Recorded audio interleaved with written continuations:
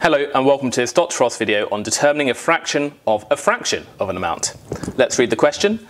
There are 1,200 people at a concert. Three-fifths of these people are children.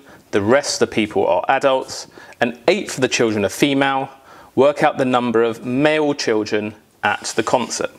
Now there's lots of pieces of information here, but we just need to deal with it one step at a time.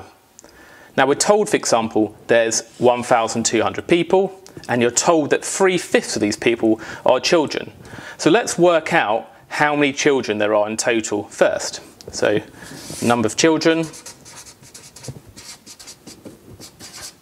we're told is three-fifths of the people, three-fifths of the 1200, of 1200. So three-fifths of 1200.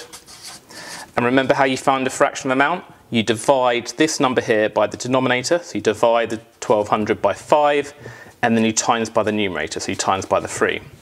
So 1,200 divided by 5, which you can do in a calculator if you want, but it's 240. And then 240 times 3 is 720.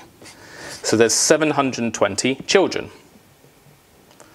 Now it says the rest of the people are adults, but it doesn't mention adults anywhere else in the question, so it might be that we don't need to use that.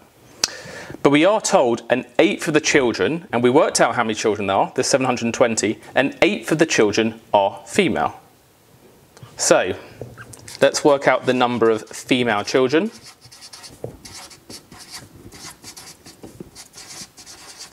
So that's an eighth of the children. So an eighth of 720, there's 720 children.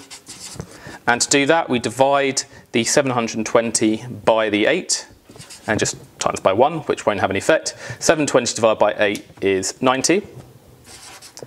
So there's 90 female children. But we want to work out the number of male children. Well, let's think about this logically. If we have 720 children in total, and 90 of those children are female, the remainder are male, so we just need to subtract these numbers. So the number of male children is 720 minus 90, and that gives you 630, and that's the final answer.